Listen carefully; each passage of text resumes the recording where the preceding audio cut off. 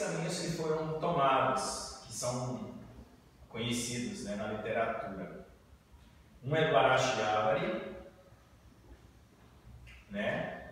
outro é do Balancini, e algumas pessoas que melhoraram.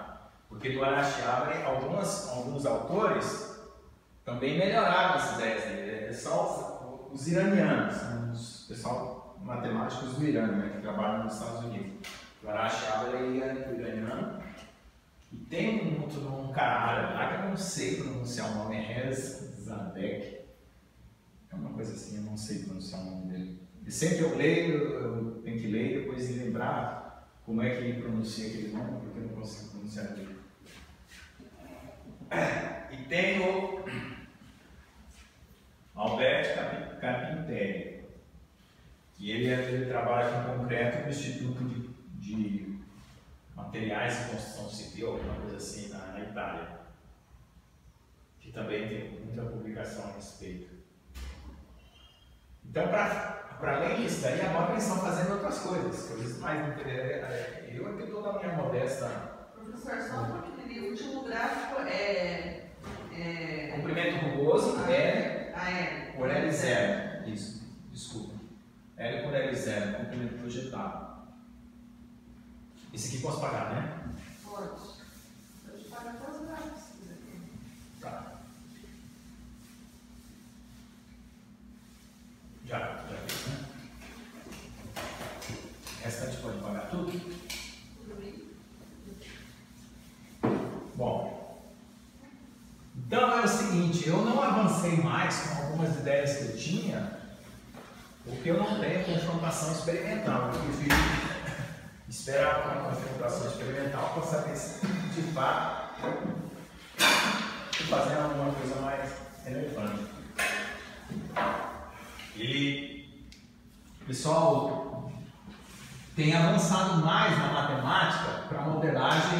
O Arashi Álvares ele está avançando na matemática para modelagem de irregularidades mesmo, sabe? E o Balanquim. Eles estão criando tudo um operadores matemáticos de derivada. O material tem uma estrutura de uma forma. Hoje em dia que a gente faz esses materiais em camadas, né? Então, uma seção o material ele tem uma estrutura irregular, na outra seção ele tem uma estrutura regular. E eles estão fazendo todos esses modelos aí. Futuramente vão poder ser estudados. Bom, então é o seguinte. A mecânica da fratura, por ser fratura, foi inspiradora da palavra fractal do próprio Mandelbrot. Fractal quer dizer, vem do frangero, não? que quer dizer dividir, fragmentar, e também vem a palavra fratura. E ele colocou esse nome fractal. Quando começou esse negócio de fractal, eles estavam olhando somente as coisas é, com estruturas irregulares da natureza, né? Árvores, montanhas, né? E aí o Mandelbrot, em 1977, 78, acho que é isso, é, publicou os livros Causa e Chance, né? Probabilidade e caos, tem um livro chamado Fracture Nature, Fractal na Natureza, e tem a editora Friedman. Freeman. Freeman. E tem outros livros aí do Mandelbrot. Então o Mandelbrot trabalhava no Bell Systems e analisava ruídos. Se eu não me engano, é isso que ele fazia lá. Trabalhava com análise de ruídos, eu não sei. E ele começou a fazer essas modelagens dos ruídos e estendeu a modelagem fractal dele para a natureza e lançou esse livro. Depois ele começou, é, não sei se foi um pouco antes, um pouco depois, mas acho que foi. Ele começou a fazer as publicações dele nas outras áreas com as propriedades dos fractais. Em 1988 teve esse estouro dessas ideias dos fractais, e aí começaram a colocar é, esses fractais na mecânica da fratura. Só que na época, você pegava uma superfície fratura, fazia uma caracterização por transformada de Fourier, coisa do tipo, e fazia uma caracterização para dar um número para a superfície de fratura, para dizer que aquela irregularidade tinha um número. Então, era simples caracterização geométrica. Tá? Ninguém relacionava isso com propriedades dos materiais. Então, no começo, era só tentar ajustar no modelo fractal geométrico com uma superfície de fratura e se aproximar uh, o mais que fosse possível dos valores que eram encontrados. Né? Aí teve um cara chamado Mechowski, junto com o Mano que teve a ideia de relacionar com as propriedades. Certo? Quando ele teve a ideia, ele achou que a tenacidade, ele já sabia que a tenacidade, C, que pode ser K1C, K2C, dependendo do modo de ela é uma constante A, né? D estrela elevada ao meio. Ele achou que isso aqui era uma relação importante entre tenacidade e dimensão fractal. E esse A aqui era modo elástico a zero elevado ao meio. Tá? Então, se você substituir esse, esse aí, você vai ter o seguinte, né? A raiz, né? De D menos D e raiz de A zero. Né?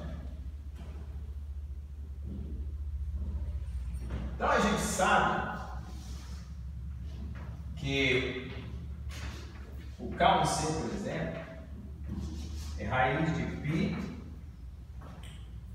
L0 tensão e fratura. Né?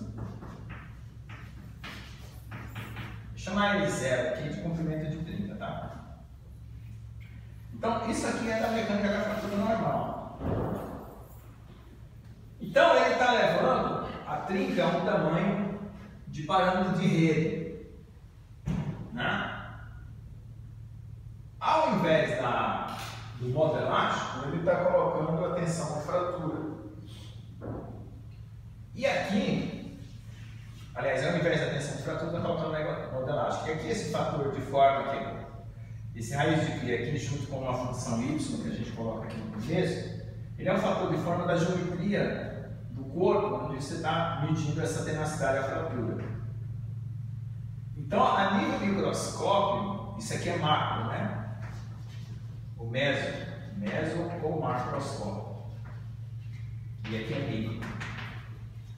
A nível microscópio, ele está tentando relacionar com o parâmetro de rede, modelástico, e esse D menos D aqui que é a diferença entre a dimensão fractal e a dimensão de projeção, ou seja, a dimensão de excesso, né? Eu chamei de dimensão de excesso. Ok? Bom, essa tentativa foi feita por Mechowski, Mandelbrot, Mechowski, Me, Me, Chomsky, em 1988. É mais ou menos essa época que eu encontrei o Israel lá em São Carlos. Tá? Comecei a amizade com ele, fazendo perguntas sobre essas coisas ligadas aos fractais aí. Na verdade, eu só encontrei, depois é que eu desenvolvi uma amizade. Bom, o K1C também é dado por raiz de duas vezes a energia de superfície o ponto elástico dado ao meio. Né? Então, se você igualar essas equações, você vai ter que a energia de superfície do material é a zero d menos d, né? Modo elástico sobre 2. Bom, aí veja só. Vamos para a realidade do problema. Eu fiz um modelinho pensando na seguinte coisa. Eu tenho uma mola que se rompeu de uma ligação com outra mola. Aí tem uma mola que se rompeu de uma ligação mola. E vou fazendo isso até fechar num ponto onde não houve ruptura. E eu faço isso aqui virar tipo uma rede. Né?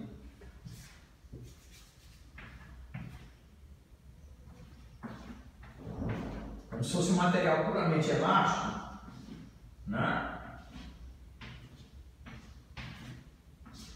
Isso aqui virar tipo uma rede. Em física, quando você tem um modelo de um sólido, você faz exatamente um modelo de mola tira as propriedades óticas, acústicas, mecânicas, com esse modelinho de mola aqui, tá? Então isso aqui é usual, certo?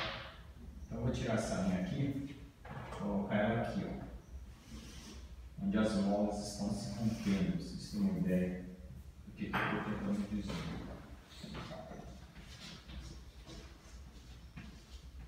Então você está fazendo uma rede de molas conectadas pelos átomos, ou átomos conectados pelas molas.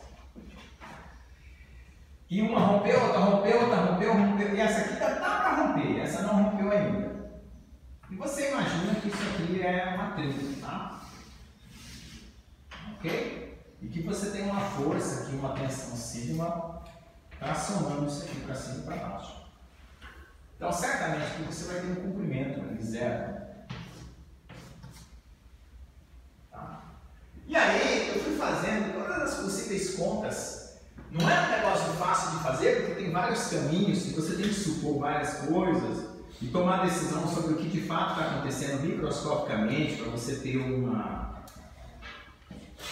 uma dedução razoável, né, um resultado razoável. E eu cheguei numa relação parecida com essa, então isso aqui se tornou plausível, certo? Não é nenhum absurdo.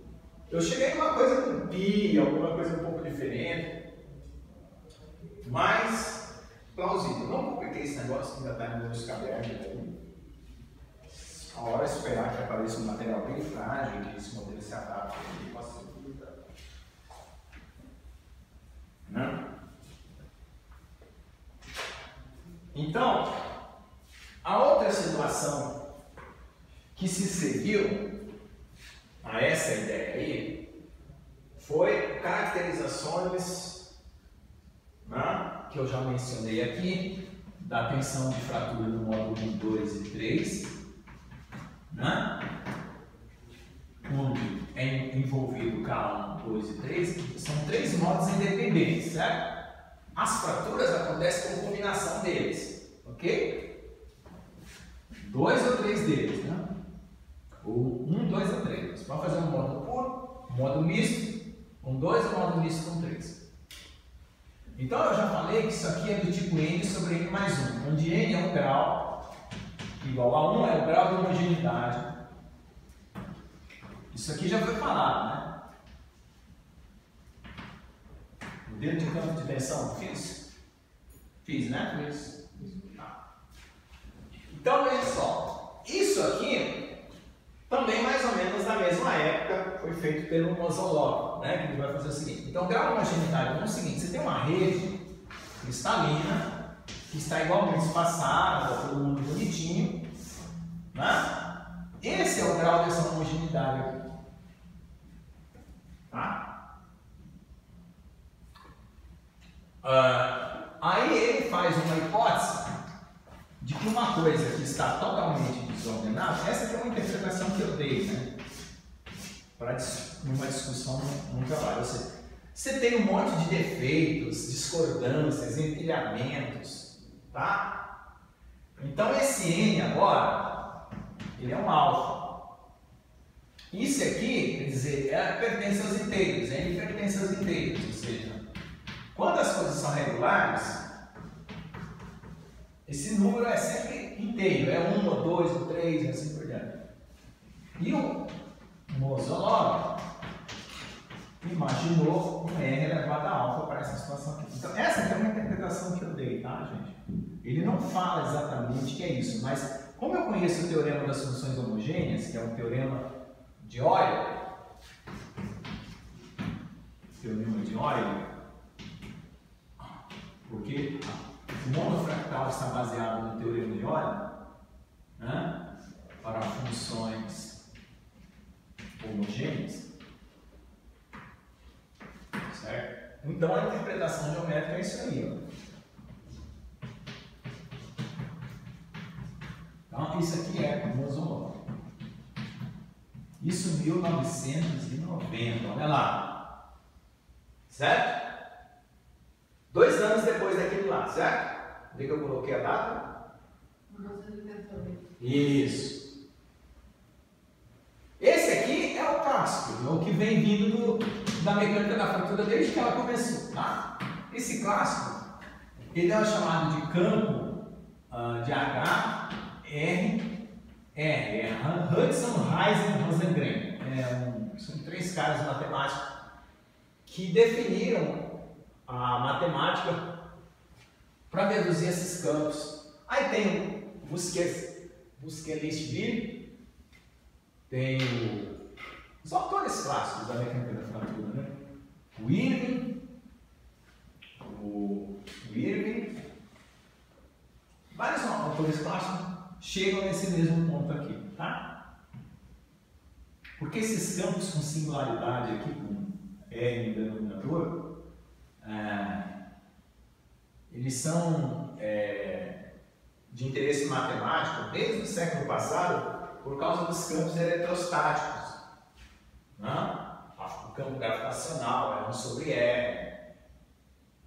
Aliás, a energia gravitacional é 1 sobre R, o campo gravitacional é 1 sobre R2. Então, essas funções comuns sobre R elevado a uma potência é de interesse da. Posso pagar aqui? Aqui? Pode. Desse lado? Só desse lado? Então, já é interesse desde os séculos passados aí para resolver os problemas da gravitação, da Newton, problemas eletrostáticos, coisas desse tipo. Então, isso aí corrigindo aqui, é 1991, tá? Vamos colocar 91 aqui para ficar mais preciso. É, a gente sempre trabalha e publica depois, né? Bom. Aí nessa ideia aqui, como já foi dito aqui, ele imaginou que o alfa é 2 menos a dimensão de caixa, que é a dimensão tomada com. Isso aqui é H, 2 menos a dimensão sobre 2, então metade H. Então, quando H é igual a 1, é uma trinca lisa, que cai no caso de um meio aqui, tá? Esse expoente vai ficar um meio aqui, né? 1 mais 1 vai ficar um meio. Então, quando esse negócio aqui não tem, não tem nenhum desses problemas aqui, né? É exatamente assim, H igual a 1. Logo, alfa é um meio. Aqui, né? Aqui ninguém está chamando ninguém de H, mas N igual a 1 significa que n sobre n mais 1 é igual a meio. Então essa é a condição na, da fratura de clivagem, né? Se alguém quiser anotar, a fratura que vai vir aqui ela vai ser por clivagem. Então esse caso aqui se reduz a esse quando alfa, quando h é igual a 1. Então h é igual a 1 é, reproduz exatamente a clivagem. Então é uma generalização dessa equação aí. Professor, daí na prática faz a, faz o estudo, daí vai analisar, no, vai verificar no, no microscópio e daí acha o tipo de, fratura. Isso. E daí faz a, as medições dele. É, a verdade é assim, você, se você tiver um, uma fratura cristalina, você já usa direto a da fratura clássica, porque você não tem nem como aplicar fractal. Mas se você tiver uma fratura numa, numa coisa que tem muita fase misturada, você vai fazer o levantamento da comprimento rugoso em função do projetado. Com isso, você tira qual o H. E com o H, você encontra o alfa. Certo? Porque o modelo que a gente fez até agora, para a forma indireta de medir esse H é pela equação lá, ó. E é igual a raiz de 1 mais L0 sobre L0, 2H menos 2. Então isso aqui ajusta um comprimento rugoso, né? Em função do projetado. Então você vai, você tem uma trinca aqui que apareceu aqui, né? No microscópio. Você fotografa ela. Aí você divide em pedacinhos, calcula o comprimento rugoso em função do comprimento projetado, certo? Faz um gráfico desse comprimento aqui, vai aumentando o projetado e, e, e, e tabelando o rugoso. Vai aumentando o projetado e tabelando o rugoso, entendeu? Depois monta um gráfico desse tipo, ajusta essa equação, né? faz o ajuste, tira o H que vai dar aquele ajuste lá, né? conforme o H isso aqui vai para lá ou para cá, então vai ter um H ótimo, e esse H vai retratar o campo. Então, na verdade, a gente queria fazer as duas coisas pelos dois lados. Fazer esse perfil aqui a gente já fez, aquele artigo lá, por exemplo, fratura concreto, fratura uma cerâmica, a gente consegue no microscópio levantar isso aqui e tirar o H, isso já foi feito. O que a gente não consegue é medir as deformações para relacionar com as tensões, que é para ser feito no FEM que era o trabalho do Giovanni que deu para trás. Né? O que? Você tem um material elástico, então você tem a lei de Hooke que relaciona tensão com deformação, certo? O que fica registrado no material após a fratura não é tensão, é as, são as deformações. Tensão é uma coisa de caráter geométrico, você aplica conforme o seu carregamento. Deformação é uma coisa de caráter do material, então o material se deforma por uma determinada forma. Então é, é típico do material. Então, você fazendo ferro né, das deformações, com os constantes elásticos, você transforma em tensão. Certo? E com as tensões você relaciona com o campo ao redor da ponta de uma numa distância de raio R. Então a ideia é medir a um raio R todas as possíveis deformações. Mapear isso. Depois que você mapear, você tira esse alfa diretamente do campo. Que é uma coisa que não foi feita, é tipo um doutorado para ser feito. Com esse alfa aqui, você diz assim, vou ver se esse alfa bate com o alfa tirado pelo perfil. Entendeu? Vai para um lado, vai para o outro. Por enquanto a gente só consegue chegar por um lado. Fica razoável, porque a gente não tem as medidas de, de, campo de tensão no material para ser feita. Então a gente não tem como dizer se é tudo válido. A gente tem metade válida, metade do corpo está válido, a outra metade não se sabe. O Oswald tem feito um mecanismo de fraturar dentro do microscópio eletrônico. Lá no laboratório de. Não é fraturar, é medir raio-x, fazer raio-x, né? Com a é, ele estava querendo medir, depois que estava tentando fazer um negócio para fraturar também. Junto, no, no, momento, né? Microscopicamente analisar isso ali no momento da fratura. Então são técnicas mais difíceis de fazer para comprovar, né? Porque você tem que fazer ou depois que a amostra está fraturada e faz uma análise de deformação, ou teria que fazer instantaneamente, né? Durante a fratura, né? que é uma coisa muito pior. Tem um cara chamado Orr que ele fez um micro, um, um, uma, máquina, uma micro máquina de ensaio dentro do microscópio.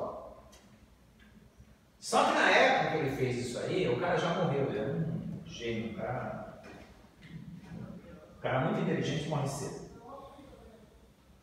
É, quando ele fez isso, não foi antes do 1988 dos fractais. Então os resultados dele não, não tem assim um levantamento com caráter fractal. Ele não estava preocupado com esses expoente, ele estava preocupado com outras coisas. Só se alguém tivesse o caderno dele, os dados dele, para ver todas as medidas que ele fez, que daria para depurar aí um resultado. Ok? Bom, então o Mozart faz isso aí, né?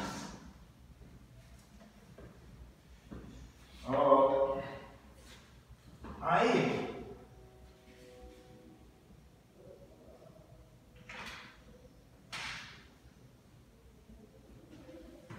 Balancchino,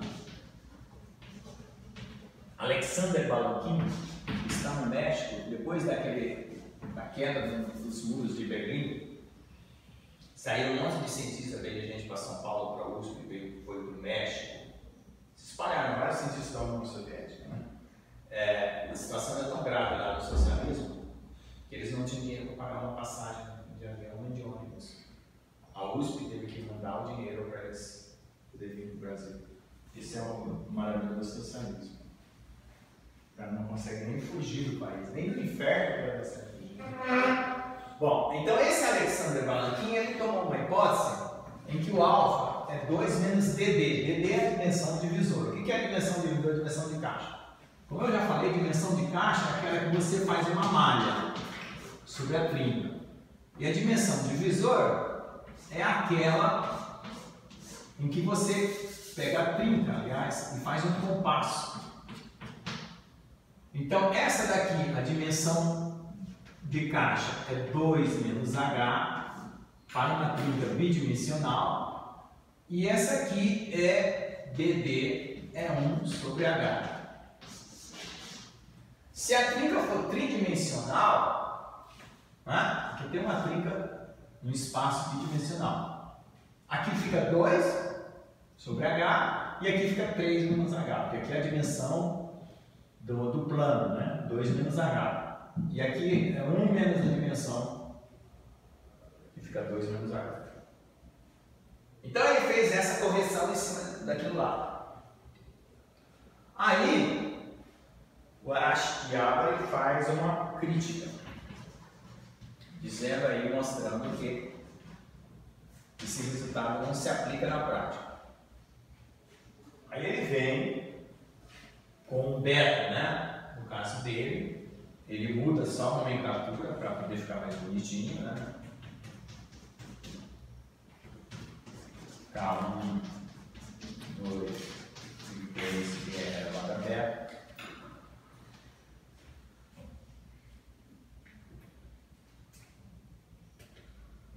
Não, então aqui é o seguinte, espera só um pouquinho. Opa, opa. Estou trocando as Mostra logo.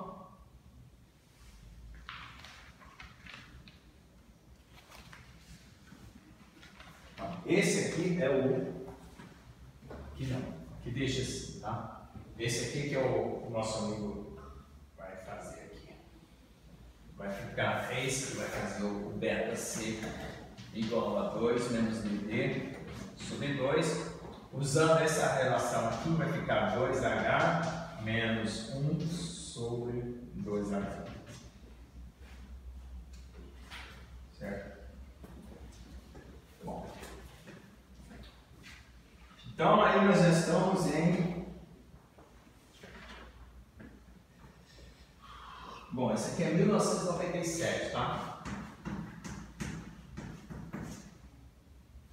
Esse aqui já é 2002. 2000 praticamente, mas é 2002 que, que sai esse resultado. Bom?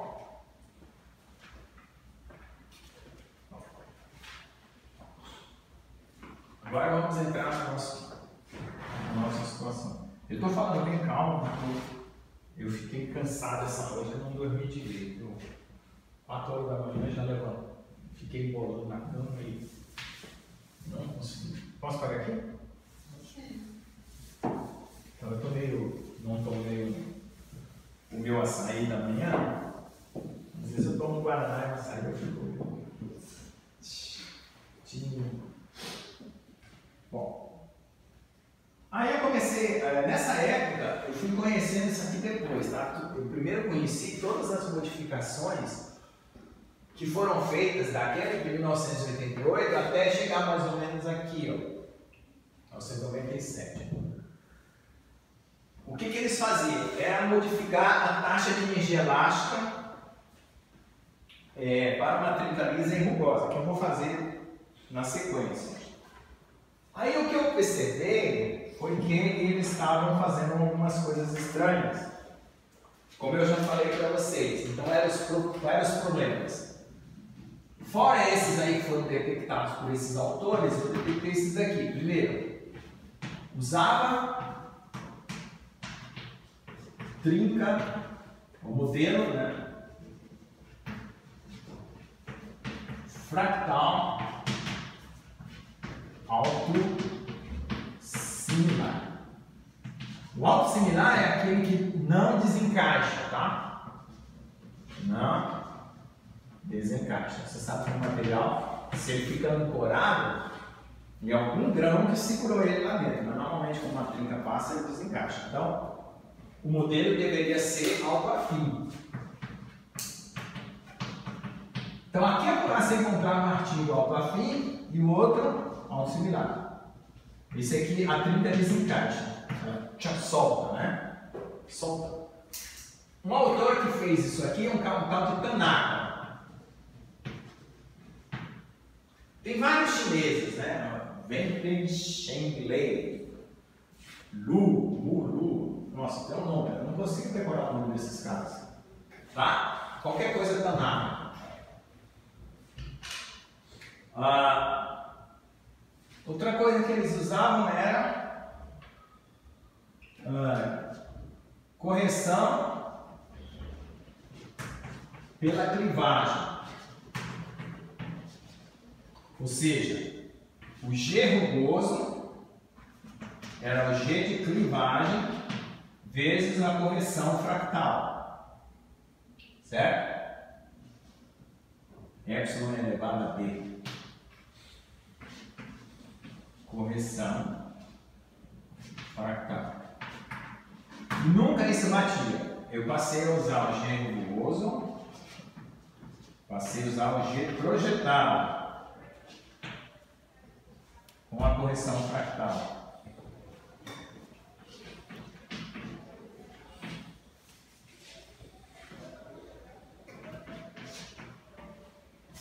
Tá? O que mais? Posso pagar aqui já, né?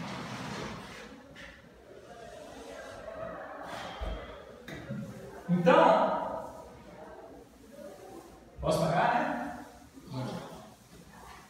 Então, o foi, eu fui detectando vários, vários problemas, vários, vários, vários, vários detalhes. E eu fui juntando esses detalhes e montando uma ideia em que esses detalhes fossem eliminados. Aí eu tive que postular. Postulados.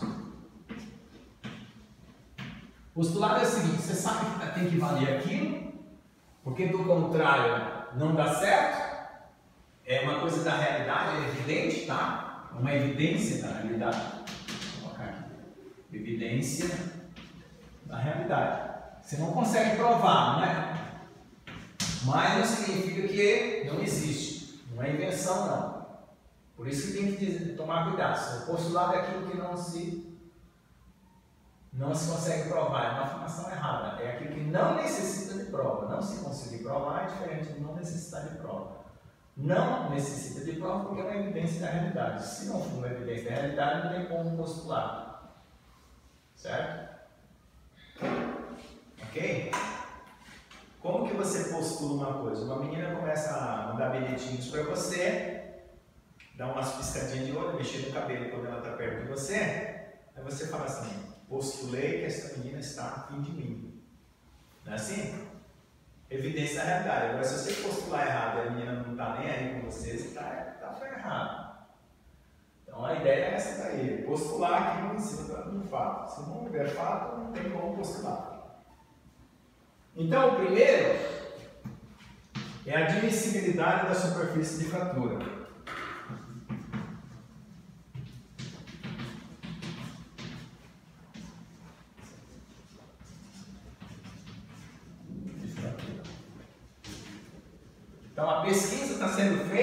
Cima das falhas dos outros pesquisadores, o que significa que se eu falhar, outros vão poder fazer em cima também. Certo? Então nós vamos pensar a trinca como né, uma fratura que se propaga numa direção X, cuja oscilação está numa direção Y. Né? Certo?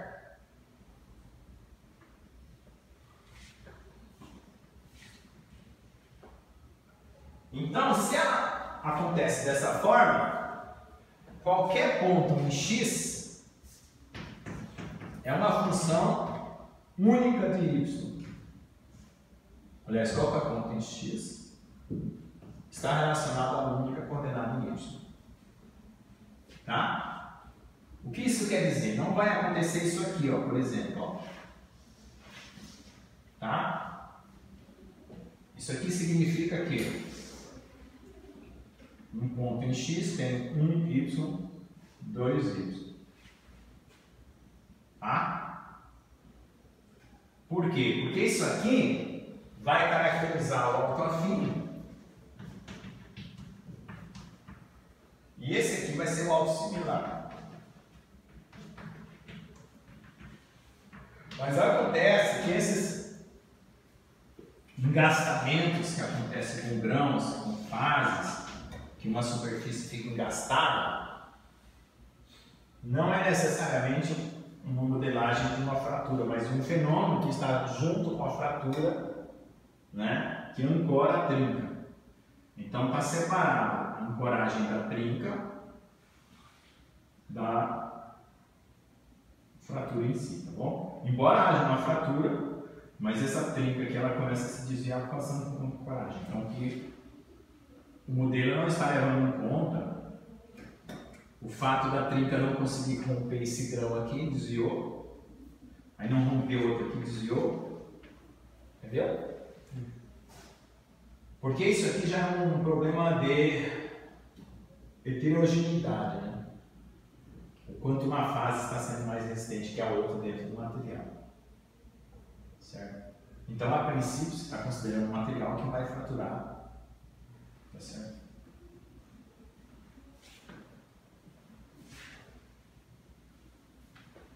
O segundo postulado, vamos ver se eu coloquei a mesma sequência aqui.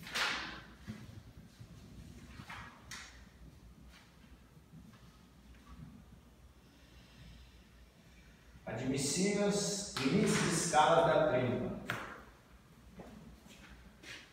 Segundo postulado, limite de escalas da prima.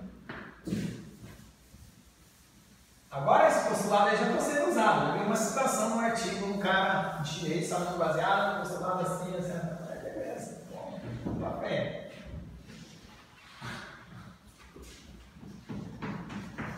Ah, limites de escala. Dizem que o o Euclides era um ótimo matemático, mas ele era um, cara sistemático. Na verdade, tudo que ele colocou no papel, todo mundo já sabia. Era da cultura grega. Ele só começou nos postulados de Euclides, certo? Então, mais ou menos, eu estou condensando tudo que já tinha na literatura, né? o fato de ser algo a escala, então, esse aqui é do Cherepanov, mas eu adaptei para essa situação. Tem um, um, tamanho mínimo menor que R, menor que o tamanho é? macro. Então, o cara chamado Cherepanov, aquele cara que eu falei para vocês que foi o que foi fazer a inspeção do 11 de setembro, pelo menos na parte que significa natura. Então, vocês 95 já tinha falado isso aí. Bom, agora esse aqui é uma necessidade também que houve, mas esse aqui já é. O 3 e o 4 é meu mesmo. Equivalência energética. Então, isso aqui está subentendido, eu, eu disse assim, porque tem sempre respeitar quem, quem pensou no assunto a primeira vez, né? O Irving, eu chamei assim, né? respeitando aos senhores criadores do problema. Quando ele foi fazer a mecânica da fratura, que a gente acabou colocando aquela equação clássica lá, com é N, é elevado a N sobre N mais 1, ele teve que pensar no seguinte, bom, a fratura ela pode ser termobosa, mas eu não vou me preocupar com isso, porque eu não tenho como medir esse comprimento exatamente. Então eu vou imaginar uma linha onde essa linha sai daqui, chega aqui, essa a real está por aqui. Então essa linha aqui é a projetada, certo? E essa aqui é a rugosa. Só que eu vou desenvolver uma matemática para projetada. Quando for clivagem, é clivagem. Então a rugosa coincide com a projetada. Então na, na clivagem, L é L0, clivagem. Certo? Que é chamado de trinca lisa, né? Na trinca rugosa, que não é clivagem, L é diferente de L0. Então, a, a, mecânica da fratura clássica, que a gente está chamando de clássica porque veio uma nova, ela já tinha esse pressuposto, é, como é que fala? Subtendido, oculto, mas já estava lá. Então, a energia do comprimento rugoso é a mesma energia do comprimento projetado, ou seja, a projeção é apenas uma forma de visualização. Tá? Não é uma nova trinca que está aparecendo. É uma fórmula. Ah, eu, eu quero analisar sobre essa projeção. Então, essa aqui é a energia de deformação. Deformação. E eu faço a mesma coisa com a energia de superfície.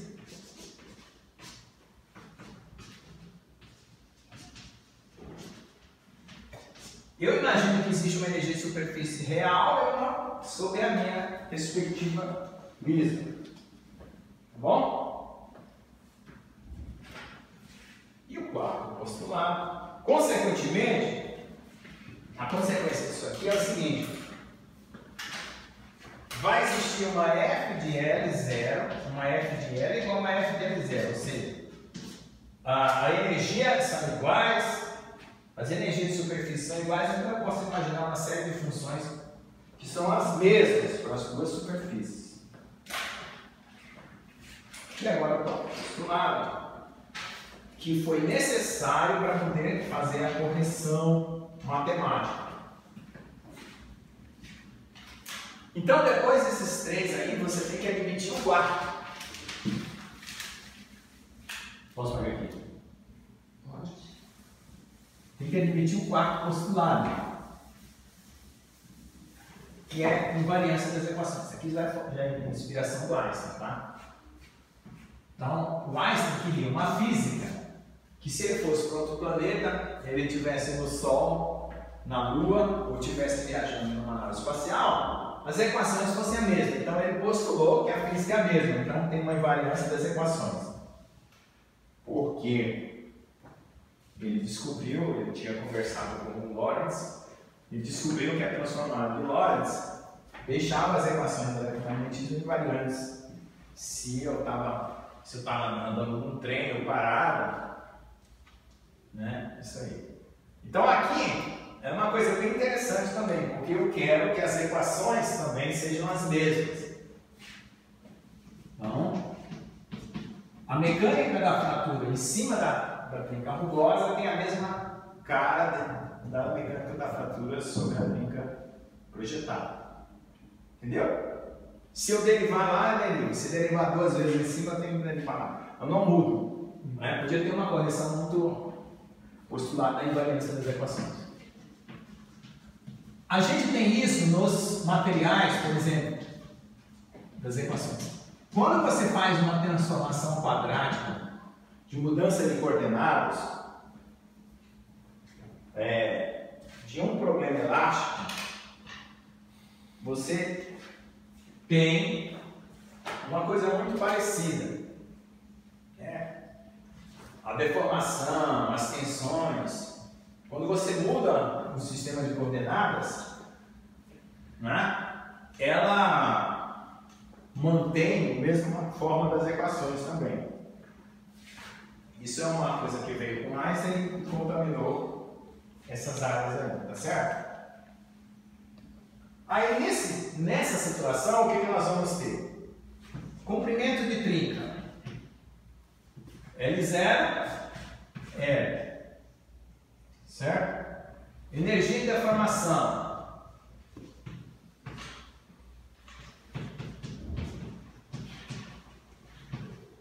O zero, o, o L0. Né? Taxa de energia elástica.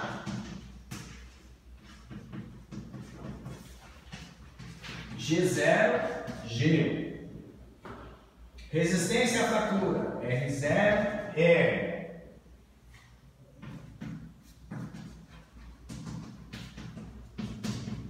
Então agora nós estamos entrando na área de vocês, materiais, tá?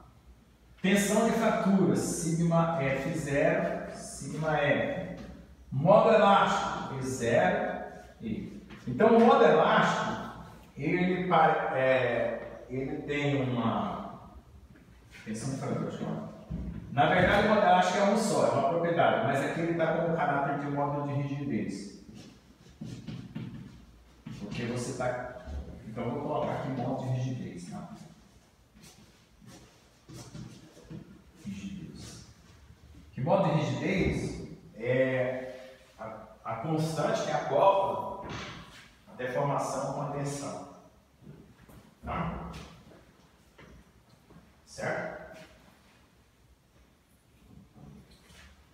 Aí vamos para o postulado 5. Posso pôr aqui? E o último, acho. É, o último.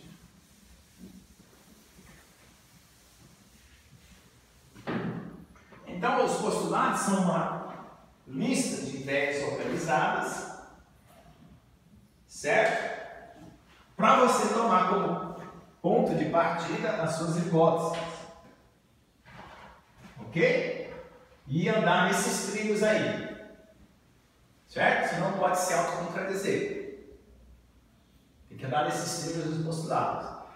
Você vai ter duas situações. Se, se, houver uma contradição, ou o postulado não é válido, ou sua conta não é válida. Ok?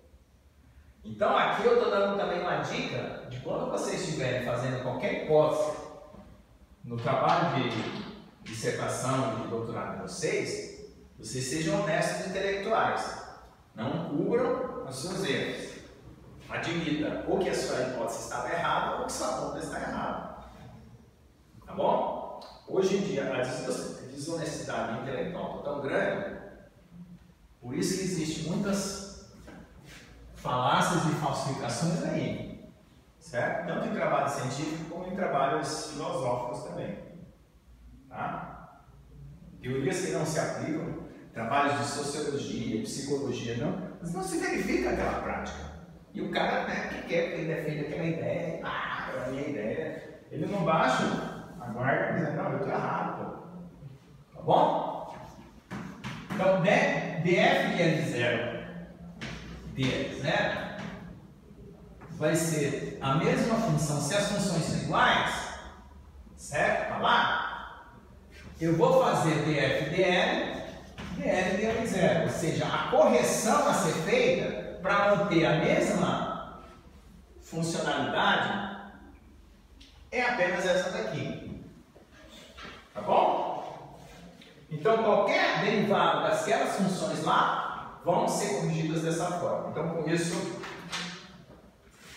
com isso resolve-se o problema dos cálculos que vão ser. Então, o que, que acontece na verdade? Quando você faz um equacionamento de uma trinca, esse negócio aqui só vai aparecer por último, tá? Porque você vai fazer um monte de considerações da trinca estacionária, ah, que é energia cinética, e algumas outras coisas são consideradas de uma determinada forma, até chegar nesse, nesse tipo de coisa aqui. Tá? É, mas eu não vou fazer esse porque é muito longo. E eu vou pegar um determinado ponto, que é o que tem nos livros, tá? Que é o cálculo da energia elástica de um corpo tracionado com uma fenda no meio, que é o trabalho de Griffith. Ok? Porque o Griffith ele fez uma termodinâmica para a fratura, material com uma trinca e material sem uma trinca, ele mediu a variação da energia. a inserção de um, de uma trinca. Então nós temos. Posso pegar aqui? Pode. Nós temos um predecessor que é o Ingalls. O Ingalls ele trabalhava na marinha americana e deveria ter muita trinca nos navios, né? Tem até a foto no livro do Kahneman. Uma pragmática solução para uma trinca. O cara meteu uma chapa, soldou, arrebitou em cima da trinca e. né? Uma trinca lá numa carcaça do navio, o cara meteu um monte de plaquinha assim, arrebitou, meteu só. E toca o navio para frente. É pragmatic solution of crack problem. É, então, o Griffith, né? Então tem Ingalls,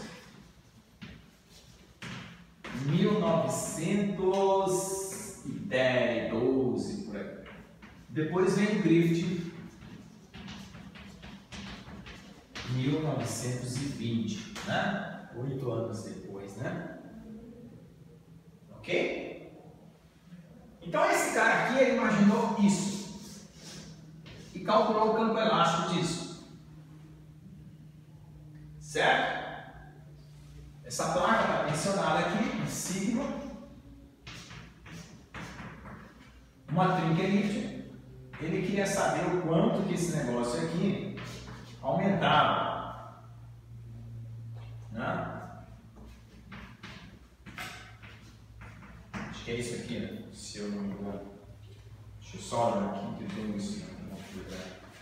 Só para não escrever bobagem. Não sei se é um meio aqui, não tenho certeza. Tá bom? Essa equação aqui ela vai ficar na Bíblia, porque eu não não consigo decorar tudo. Tá bom? Outra hora você. Tá no caderno, passado, tá no caderno de vocês, essa equação é bom. Então o Griffith ele fez a mesma ideia com essa trinca aqui, que é a mesma, Tá? Ok? Só que ao invés de campo de tensão, ele estava preocupado com energias. Tá? Aqui ele quer saber energia de deformação e energia de abrir a trinca, ok? É o tal de balanço de Griffith. Todo mundo já ouviu falar, né? O resultado dele é que a tensão de fratura é 2 gama E sobre π L0 elevado a 1. Então vamos tomar como ponto de partida esse daqui, tá bom? Eu já vou dar um intervalinho, porque está bem. Que horas são? 10 para 10. É, já foi 8 e meia, 9 e meia, mas tá bom. Eu comecei um pouco depois por causa do. Então vou pensar o seguinte, olha lá, vou dar um impulso aqui na ideia, vamos reservar um resultado que vai ser interessante. Deixa eu ver aqui. Que é o resultado da energia para abrir esse, essa, essa fenda aí.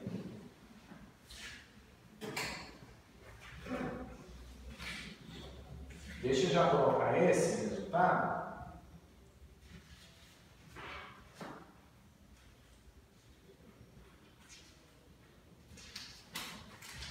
é o seguinte: quando você tem essa trinca aqui, você está fazendo essa força, a energia para deformar isso aí, ela é 2 sigma dividido pelo modo elástico, raiz quadrada do comprimento da trinca L, menos x ao quadrado, que é a posição onde você quer calcular, elevado a meio, tá? Isso é um resultado que vale para os dois lados? É, não, desculpa. É, usinho, a deformação é o comprimento, é assim, você põe um sistema de coordenadas x e y, você anda x e quer saber quanto que é u. Quanto que é, essa elipse está de tamanho u na coordenada x, que é u, u de deformação, tá? chamado de u. Ok? Tá bom? Você tem uma elipse, você está abrindo ela. Você anda em X, perguntando tanto X quanto que o U é aberto. Quanto que é essa abertura U? Certo? Para o Griffith, a energia de deformação para o mesmo problema, isso aqui é para o Ingles, tá? Ele está preocupado com tensão, deformação, alongamento, tá? Deformação, alongamento. Que delta no sobre U, né? Ok? E a deformação que vocês conhecem, porque sigma e epsilon. Lembra? Tá? Daí de Para o, o Griffith, a energia, que é o que está preocupado, é π sigma ao quadrado, a tensão que está sendo aplicada, é esse comprimento aqui, certo? Eu já vou zero nele, que é para poder você não confundir com o L rugoso, tá? Esse L aqui, tá bom? Dividido por 2 e modelagem. Então lembre-se que nos dois problemas, sigma é e epsilon, tá? Lei de Hooke. Nos dois problemas existe essa ideia por detrás de tudo isso aí, ok? Ninguém está desvalendo a lei de Hooke de forma alguma. Tá bom? Então isso aí é o background das, dos problemas. Então agora vamos ver aqui o meu problema. Eu propus. A minha trinca agora é assim, e minha placa está sendo tensionada. Eu tive que partir para esse problema. Eu vi o Yava fazer isso, Arashi ele fazia uma coisa parecida. E, e ele não começava com o grift, ele começava com outra situação e eu vi uns probleminhas mais para frente, quando eu vou começar para trás, se tiver algum erro, é, eu acabo corrigindo esses erros ao longo do, do percurso. Ok? Então você percebe o seguinte, de onde vem esse pi aqui, ó? Vem do fato de isso aqui ser uma elipse. Você sabe que uma área de uma elipse é PAB, 2PA mais B. Então, o comprimento de uma elipse é I A mais B. A de uma elipse é IAB. Né? Quando A é igual a B é R, R quadrado, é R quadrado. Certo? Então, π está relacionado com essa lisura. A lisura tem um negócio de o cara íntegro. Né? Esse aspecto liso, né? Então, a minha área, certo? Não é πr quadrado, πr quadrado, eu vou chamar de m, m é uma, um coeficiente que vai ser diferente de π, L0 ao quadrado. Ok? Tensão é força sobre área, tudo igual, né? A lei de Hooke vai ser sigma e epsilon. E ela vai, vai virar. O modo elástico é E para deformação plana. Lembra, deformação plana é placa espessa. Tá? E 1 menos mi quadrado para tensão plana. Tensão plana é placa. Então a tensão é plana e a deformação é triaxial. Aqui a deformação é plana e a tensão é triaxial. Tá? Placa espessa e placa delgada. Se alguém quiser lembrar, uma barragem é deformação plana. Placa, placa espessa, placa delgada. Então os problemas de elasticidade é dividido em é, é, os, porque normalmente você teria três incógnitas, três equações, ou nove, nove deformações, nove tensões. Esse problema em 3D ficou horrível de se resolver. Então eles rebatem para 2D em dois limites. Tá? Ok? Bom. Aí, fazendo as mesmas contas pelas quais se chega nesse resultado, as mesmas, tá? Para está aí no livro, é, apostila você chega que o L é N sigma ao quadrado L zero. Opa, aqui estava o L, espera só um pouquinho. coisa, só um pouquinho. Acho que eu esqueci um expoente aqui. É, aqui é L0 quadrado, tá, gente? Põe um quadrado aqui. Porque a derivada aqui não vai ter. Tá. Ó, entrou M aqui fazendo as mesmas continhas sobre 2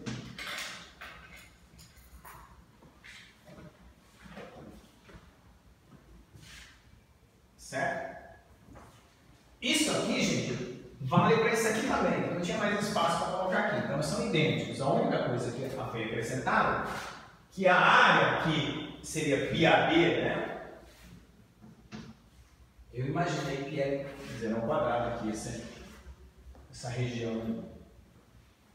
Poderia ser M A mais B, né?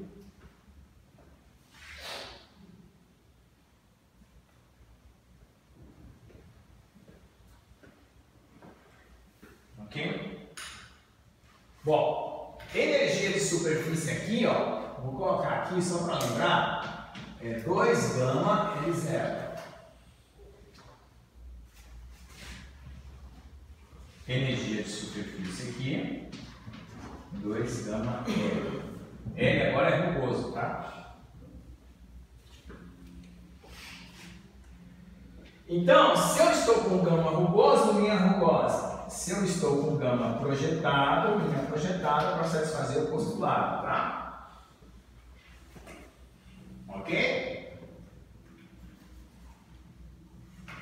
Lembra que as energias são iguais? A perspectiva da, da energia superfície está mudando porque eu estou mudando a perspectiva do comprimento. Então, energia no projetado, eu vou chamar de zero, é igual a energia no rugoso que é n sigma rugoso, que eu não vou colocar em L quadrado quadrado sobre 2e. Eu posso até colocar E0 aqui e E aqui, não dá problema também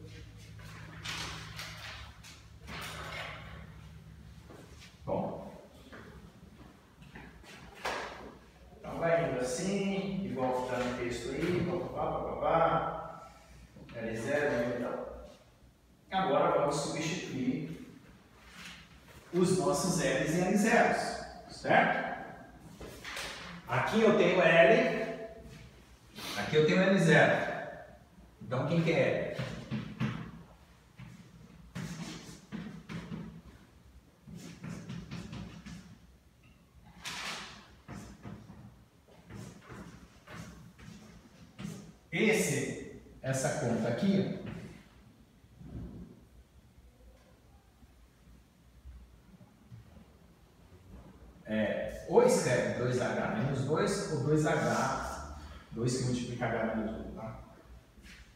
E, deixa eu só acertar aqui, tem um erro ali. Quando o L0 está em cima, ah, aí fica assim, tá? Tem um erro aí no, é, entre a equação 13 e a equação 15, tá? Quem tiver o texto lá, corrige que na equação 13 está errado, na 15 está certo. É, página 73 aqui. Eu já fui detectando esses erros, é. Tá? Qual que é? É, no segundo artigo. Esse é mais para frente. Olha, porque sua impressão foi uma cara diferente. É aqui, ó, tá errado. Aqui você coloca Lzinho zero em cima e o L grandão embaixo.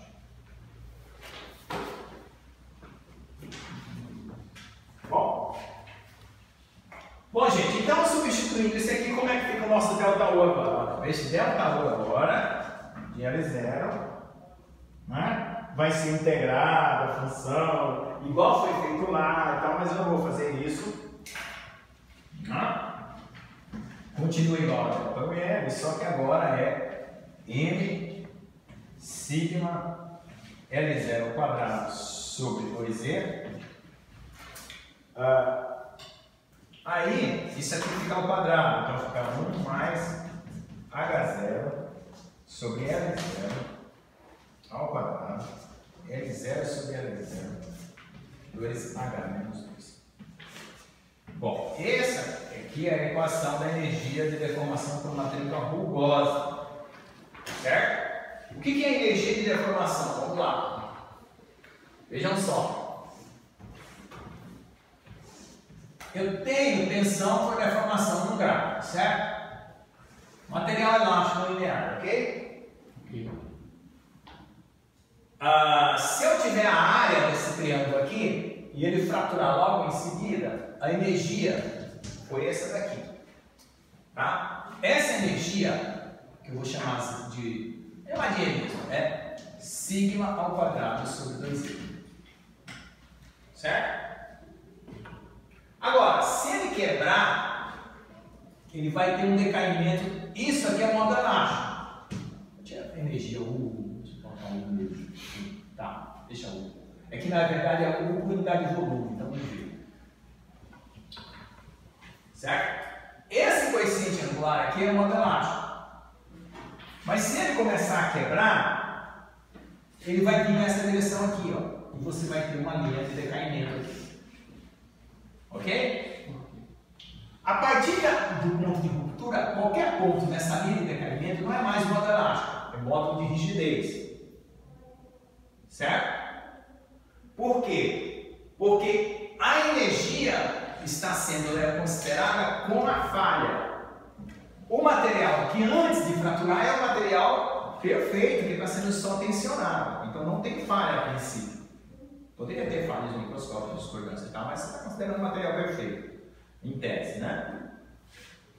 Tá certo? Então aqui é modo elástico. Quando ele começar a aparecer trincas, ele começa a decair a sua tensão, porque ele vai fraturar energias menores. Se você parar a fratura lá, ele vai fazer um descarregamento para cá, certo?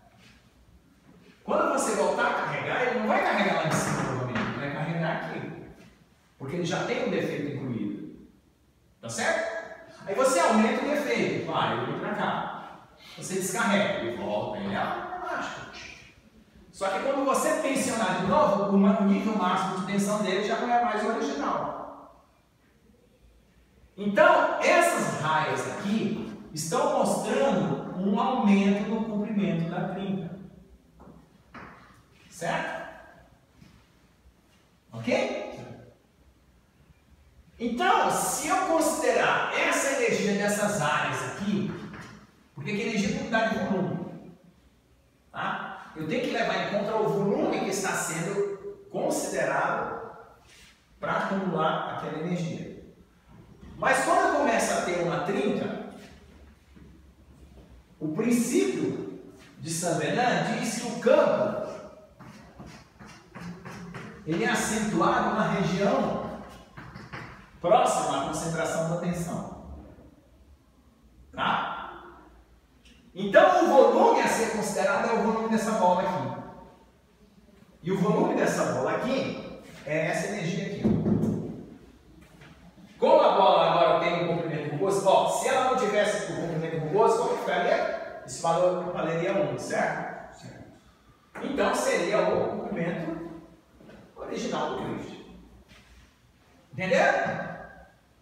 Então, esse comprimento, ele não é o original do grifo, porque a minha falha não é mais elíptica, certo? Ela é rugosa, tá bom? Então, tem um Mzinho aqui, como ponto de partida, ela está partindo de uma trinca já rugosa. E ela tem essa correção porque uma trinca está em andamento. Certo? Então aqui eu tenho que considerar uma trinca em andamento, com tamanho L e tamanho L0. Certo? Consegue perceber? Então aqui seria um delta L e delta L0. Então esse aqui é um ganho que vai acontecendo por fato de estar quebrando. Ok? Todo mundo conseguiu pegar isso aí, esse ganho? Esse ganho está porque isso aqui está acontecendo. Mas eu não sei em que ponto ele está parando, então eu tenho um L0 variável aqui como uma variável. Certo? H0 é a altura da minha consideração aqui, ó, do meu enquadramento da trinca. H0 é essa altura do meu enquadramento. Certo? Posso manter um enquadramento fixo. Ok? Lzinho zero é a escala mínima de trinca que está quebrando microscopicamente, eu já falei que é, que é um, uma das evidências mais, mais modernas da trinca, de que a trinca acontece por pedacinhos. Lzinho zero e Hzinho zero são escalas. Na verdade, que Hzinho zero você pode igualar os dois, não tem problema não. Porque uma trinca ela pode ter incrementos verticais e horizontais idênticos. Certo? Isso não é problema. H é a constante de rugosidade, o expoente de rugosidade, que qualifica que tipo de trinca está vindo aqui, em que material, se é um concreto vai ter um H, se é uma cerâmica vai ter um outro H, se é um metal vai ter um tipo de H. Então os valores de H qualificam o material e L0 é até que ponto a trinca está dando, a variável. Tá? Então aí tem H, H0 Lzinho zero, constantes. E L zero, variável. O ponto que eu considerar L zero é o ponto que eu vou considerar a energia, que é o ponto que eu vou considerar o decaimento desse triângulo aqui, tá certo? Bom, aí tem um artigo já agora, 2017, que os russos usaram isso aqui numa, para qualificar uma trinca rugosa. Essa equação aqui fui citado pela revista russa, até coloquei no Facebook, todo mundo de. Tá bom? Espero que esteja certo, senão eu vou derrubar o satélite deles. É, né? Vamos lá. Agora, gente, é só fazer o que o Griffith fez. O que, que o Griffith fez? Ele disse que a variação dessa energia de deformação com a variação da energia de superfície eram mantidas. Não era igual, igualar as energias, porque igualar energias não, não deixa a trilha andar. É a taxa, é quanto ele anda. Então, vamos fazer isso aqui fazendo intervalo. E está concluída a primeira etapa do nosso problema. Então, o Irving fez uma taxa, porque dentro da termodinâmica do grid já estava subentendida essa taxa, ele só fez explicitar. Então ele chamou de G deu BL zero, certo? Então, se eu derivar isso aqui em relação a L0, é π sigma ao quadrado L0 ao quadrado sobre 2E, derivando isso aqui da quanto? π sigma ao quadrado L0 sobre E. E R é deu gama de L0 né? que é D de L0, o gama é 2 gama L0. Derivado disso aqui é 2 gama 0. Igual a isso com isso, G com a R, critério de Griffith.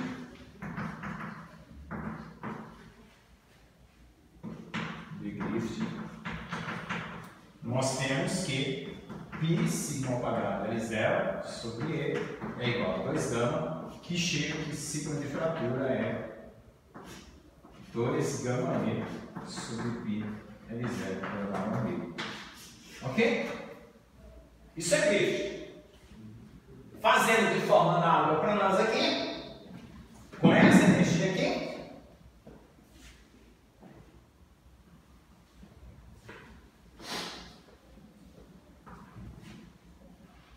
anotaram esses detalhes aí, acrescentaram no desenho, porque eu sempre volto na página anterior, vocês acrescentam essas novas novidades.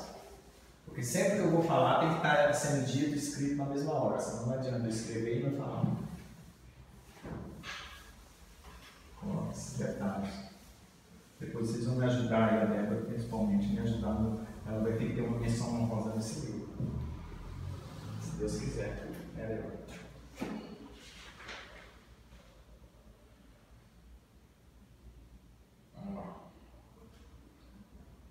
Isso vai me ajudar a deixar o texto bem enxuto, sem problema.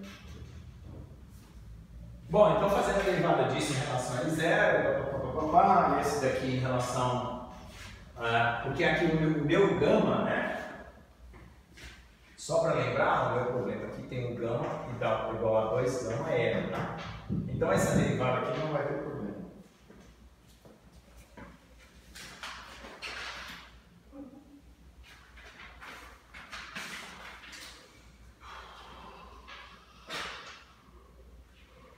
A única coisa é que eu vou ter que trocar lá o gama, né? Vamos colocar o gama. Chamar de delta vamos fazer o gama mesmo. O gama vai ficar a 2 gama L raiz quadrada de 1 mais A zero. Zero quadrado. M zero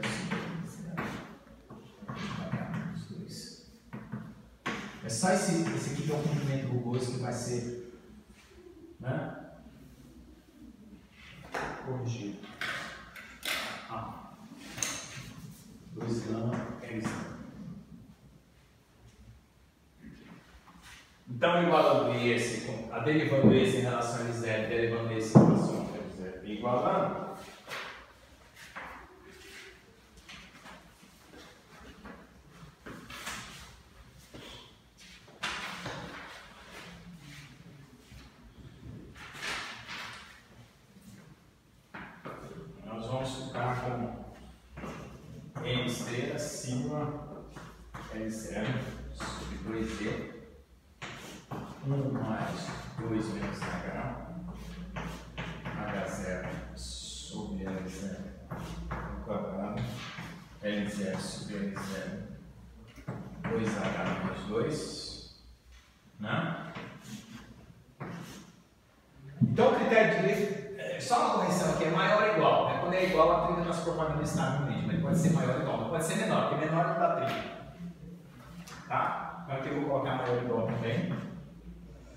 O R é derivada disso aqui, o G é derivada disso aqui.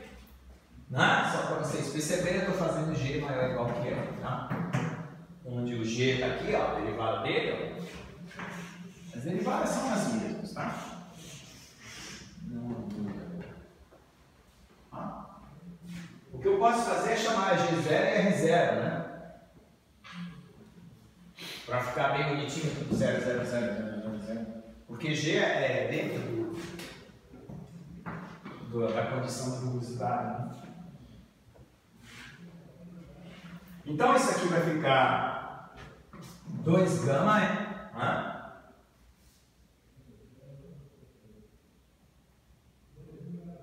Certo? Aqui tem um erro também, aqui tem uma hora tem um índice, outra hora tem outro. Deixa eu pegar o outro aqui. Nossa, digitar as coisas e não conferir. Tá lá. Terminando isso aqui.